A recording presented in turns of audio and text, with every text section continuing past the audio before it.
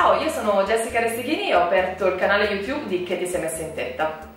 Io sono Pietro Loschi e sono un chirurgo plastico ricostruttivo ed estetico. Abbiamo deciso di rispondere alle vostre domande. Sì, magari dire qualcosina che vi può essere utile per essere un po' più informati sugli argomenti riguardo il seno e le malattie del seno. Quindi restate connesse.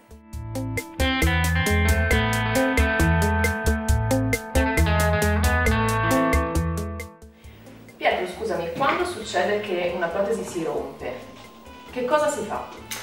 Allora, intanto partiamo da come si fa a capire se si rompe. Ah già, è vero. Come si fa a Eh, capire perché come si rompe? Veramente è una cosina che diciamo praticamente a tutte le visite. Ok. Allora, si rompe ma non cambia la forma la protesi. No? No, per cui non è che il seno diventa piatto, cambia forma, per cui la si vede con l'ecografia. Un buon ecografista ha la pelle e il muscoletto della sua capsula e sotto è tutta protesi, quindi lo si vede all'ecografia, ma questo è anche una donna che fa un'additiva, lo si vede all'ecografia. Un buon ecografista scrive seno sano, protesi integra, è questo che ci interessa.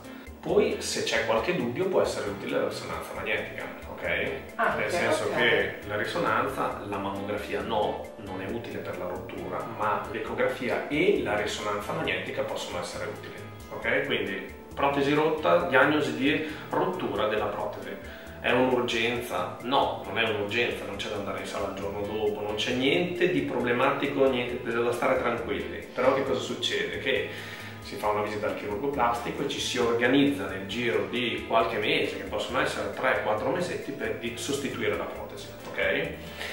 È un intervento difficile? Assolutamente no, anzi può essere il momento per migliorare qualcosina della forma, Mm. perché magari uno ha un po' di indurimento, intanto migliora la- la- lo spazio, magari cambia la protesi. Quindi noi che cosa ci troviamo all'interno come chirurghi? Tagliettino, trovo la protesi, ok? Tra l'altro le protesi sono di un gel coesivo, quindi il gel rimane all'interno e non cambia la forma. È il motivo per cui una donna spesso non se ne accorge, perché la protesi rimane lì.